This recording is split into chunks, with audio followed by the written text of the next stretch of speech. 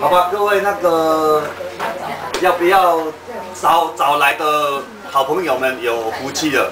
伊特别穿精彩的迄个迄个非公开版，和大家分享啊，所以可能伊咱的迄个地板咱坐较侪啦，啊，迄个椅啊，恁若无搞无，恁就家己敲恁介意的位吼，啊，我就拨看看哦吼。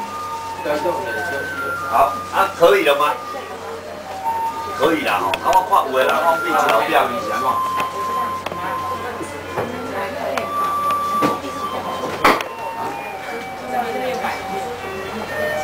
直接地板接触讲者。咱来含，咱来声音来含迄个外口的迄个台湾上特殊的迄种收垃圾的车来做车名吼。你晓不晓得他的作者就是曾经《经典杂志》报道过出版的专书《瑞跟平姐》，曾经环球骑脚踏车环球过来的是，所以他们又回来了。他们回来了。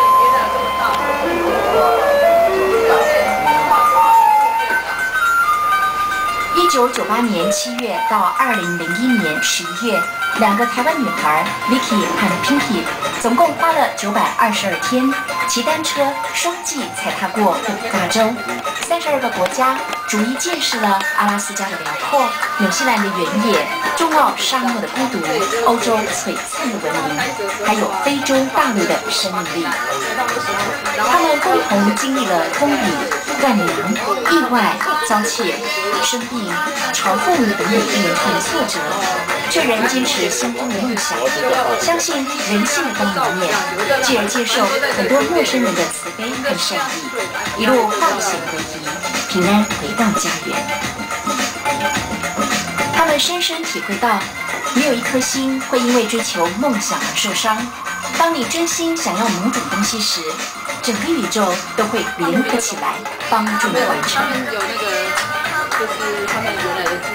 其实我们常在想啊，两个单身女子为什么会选择用自行车、脚踏车来做一个旅行？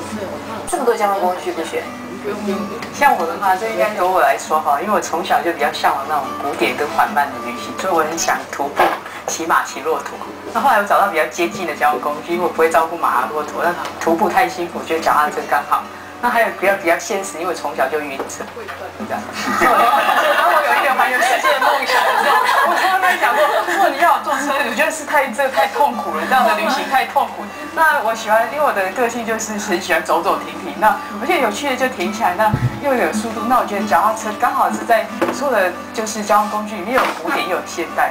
因为它的古典就是从有两轮开始，它从是一个脚踏车，那它现代就是它加现在有很多比方说变速器啊，脚踏车的一些配备，就让脚踏车事实上又有兼具速度的那种感觉的。那那你有没有考虑到你自己体力对。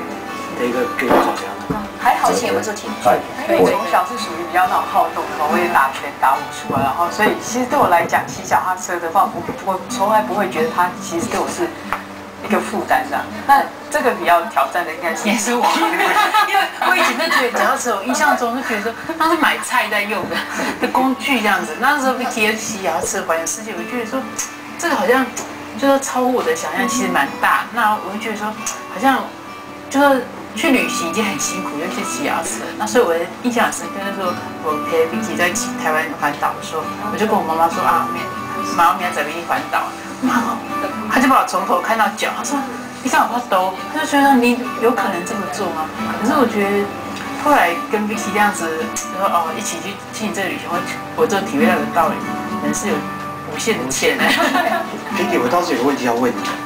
我就觉得说，实际上你再怎么样看都不像是骑脚踏车的。我已经认识你这么多年，我都没怎么样。我到最后讲出你的真心话，你自己都蛮鼓励我的。对啊，对啊，我你你是为什么？你是因为是旅行这个魔力呢，还是觉得说好，既然 Vicky 都去了，他可以照顾我，那我可以做不同的尝试。对我人生来讲不同。其实我觉得我这这个性很多变的人，这样我很容易就受一个很浪漫的、很梦幻的那个呃。的原因就去做一件事情。那时候对，那时候觉得说，骑脚踏车这样，海风这样吹，哦，好美 啊！双双鱼座的 A 型。那就会爬坡的时候呢？对，爬坡在心里面就是辱骂某个人，我会感觉到背后有剑在刺我的。就觉得怎么怎么为什么会来这里？真的太愚蠢了，这这辱骂上。课我都不敢看他。不过我觉得说真的，这样过程中啊，当然心酸血泪很多，可是觉得那种那种经验是一般旅行方式比较难去感觉到，跟大自然融合在一起，然后跟当地人的互动非常强。我觉得说尝试过这种这样缓慢旅行的都会了解。单车旅行第一课：旅行是一种减法。实际上是骑脚踏车旅行啊，就好像是把一个房子跟车子带着走了。所有的家长，但是他他房子跟车子会不会有简单的一点啊？就是房子跟车子，但是它打包跟它的重量上都必须以你自己的体能来做一个考量，对不对？以以你来讲的话，这最大的原则是什么？呃，就是越简单越没有负担。也就是你就是要不停的捡东西。呃，装备越少越好，对因为不然实在是当你开车的时候，事实上就好像你拥有个大房子，你就觉得哦，我少这个我少那个。可是当你只有脚踏车的时候，你要考量，你每增加一个重量的时候，你的踩踏就会很辛苦。所以到最后，我觉得骑山是最快乐的就是你会返璞归真，你会发现人所需要的东西这么少，就够了这样。因为你的食，我的食衣住行，可能就是这台脚踏车上装的。那所以到最后真的就是开始淘汰掉完全不需要的东西，然后把它甚至一个东西要多样的使用。嗯嗯。没有，我觉得他只要带一张信用卡就好。对啊，因为那什么东西都没有。哦，可是这个要看你在哪里。你在阿拉斯加、加拿大某些地方，我告诉你，有信用卡的是拿出来的，你问他讲说他们去的非洲，去那马拉维，那信用卡对，没完全没有。其实你到后来会觉得连一张纸啊，我都把它丢掉了，就是那那种你会把它极越渴望把东西都丢掉的那种心态，尤其在上坡分外的强烈。那这样子，除了脚踏车，还有你必要的东西啊？你看连一张纸都丢掉的时候，但是我知道你们两个一定有不会丢掉的东西。他还喜欢阅读哎，其实他还是带了一些书，他他就觉得那个重量无所谓，你知道吗？所以真的是你的选择。你要看带着带什么书，你要带个什么？我在欧洲带那个欧洲艺术史，带着。那我还有讲一个爆料的小秘密，像他觉得说眉毛杂乱很重，很很不好看，所以他就会带把眉毛。这干嘛告诉别人？绝对是比那张纸还要重。对我来说，对我来讲的话，其实，在旅途中，其实我最大一个享受，是我喜欢透过镜头去看东西，然后去记录下一些感动，因为我觉得很多东西刹那可能就不见，但是你会留下那那种感觉的。就是对我来讲，照相机啊，就是很重要的一个东西。好像今它的配天备的。你的照相机也随身对带着，对啊，然后我已经习惯，从我开始旅行到现在，即使平常生活我也习惯拿着照相机。但是小心嘛，他这样随便拍你的时候，他自己的网站上就口罩口罩出来，所以我看你跟他警告过的。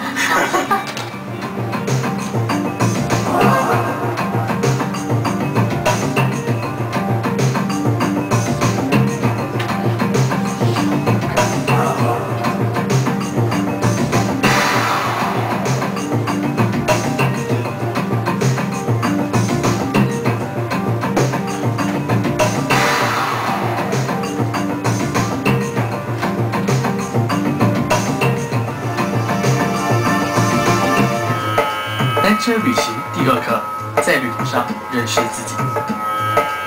单车旅行，我觉得是一个追寻自我的历程啊，它真的是让我重新去认识我自己，然后找到我自己。因为觉得你去旅行这件事情本身就是有点抽离现实，可是抽离现实很有趣，就是我眼睛是往外看，可是很多时候又往内射，又会射回来自己那种感觉。其实它好像是一个面对自己的旅程。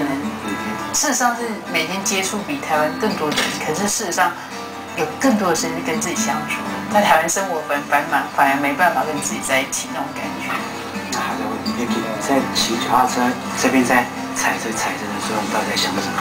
这是我一直想快点到探险，快点到，还有多少？还有多久？还有多远？快点！然后其实我是一个比较简单的人，大部分其实在当下的时候，其实我很 enjoy 周围的一些变化，光线啊，是它自然声音。那偶尔我会想起一些过去的片段，比方说，哎，现在这个过程，我忽然想到哪一个朋友如果在这里，他可能会跟我一样很 enjoy，或者是说我忽然想到，哎，之前发生的某一段事情，那我现在想起来觉得很有趣，或者说啊有点悲伤，好，但是我又期待说，哎，再往前那会怎么样？所以可能我没有像 Pinky 这么复杂，那真的是文学家的，哇塞！那我上次也在质疑过你，就是说你接接下来选择的地点是加拿大，那记得你那时候对我很不屑。因为因为之前已经挑战那么高的难度，怎么最后会选择一个好像对我们来讲难度很低啊呀？对啊，或许在那个环球旅行结束之后，我觉得里程数记录对我来讲已经不再，我不需要需要去证明任何事情了，因为 I did once 我已经做过一次。那当时其实加拿大有一个因缘，是让我觉得说好像非回去那个国家不可的。好，那事实上我去的那整个过程，在那种平静当中，我突然找到一种莫大的幸福，那是真正去享受那单车旅行的快乐。因为加拿大这个国家真的太适合骑单车旅行。嗯，那还有加拿大的人，就跟他们大自然一样，非常漂亮啊，每个人的眼睛都蓝到可以看到他的心这样。尤其是整个去年夏天，我大概大部分时候是在五大湖区。那其实我小时候在看世界地图的时候啊，我那时候觉得说这个五大湖是上帝在开玩笑，好像他用一个手掌压了一下，他在做地球的时候压了一下，然后就积水。而且我小时候看地球，觉得怎么可能每一个湖都比台湾还大？什么湖啊？然后我就想象有一天我长大，我要每个湖都跳进去这样。所以这是在整个旅程一个人，然后享受那种真的是那种大自然的美。然后我也真的确实，几乎整个夏天都是在跳水啊、跳湖、跳海的。然后那种让自己身心完全放松，这是我很少很少有这么。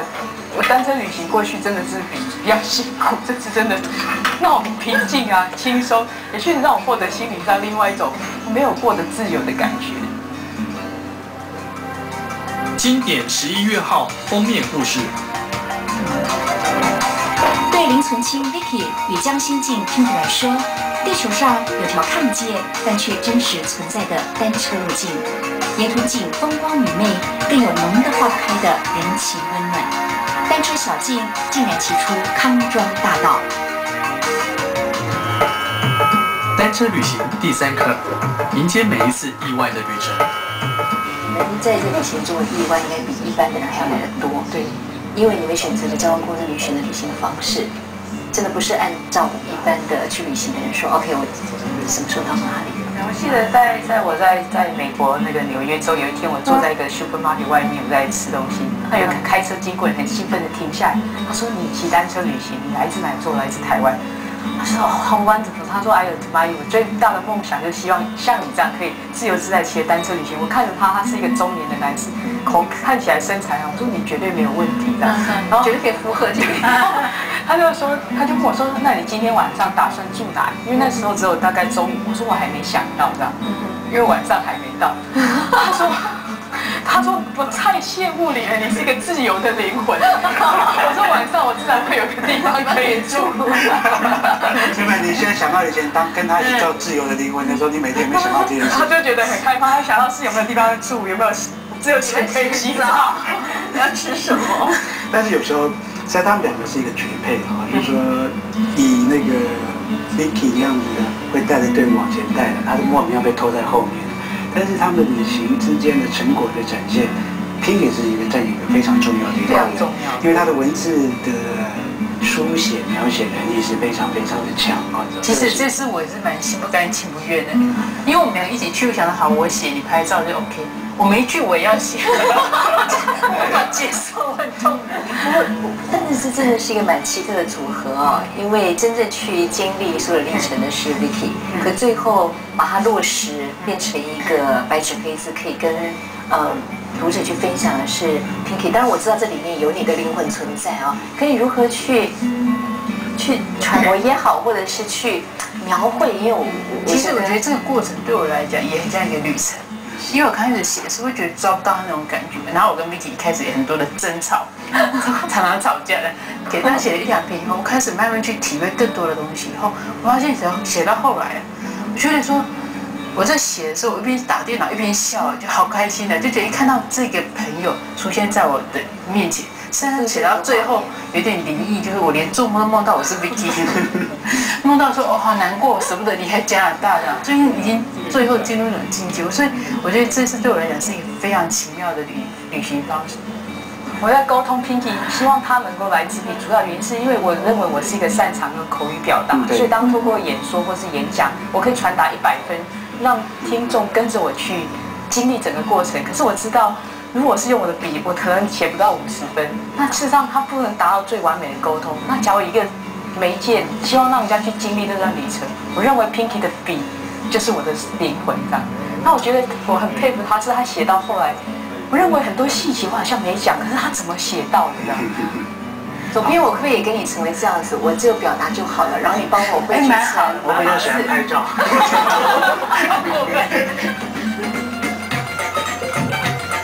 一台单车可以载我们到多远的地方？林存清 Vicky 与江心静 Pinky 在七年前就找到了答案。女生骑单车环游世界不再只是个梦想。在 Vicky Pinky 单车环球梦的网站里，他们把每趟难忘的旅程转化为文字，字里行间记载了他们的眼里这个世界的高度与宽度，以及生命中不可多得的惊喜与考验。打开 Vicky 与 Pinky 的世界地图，红线代表着两人单车行进过的路线，蓝色则是为跨越海洋两人搭乘飞机的航线。从今天到未来，他们将踩着单车，继续在这张世界地图上画下更多密密麻麻的红线与蓝线。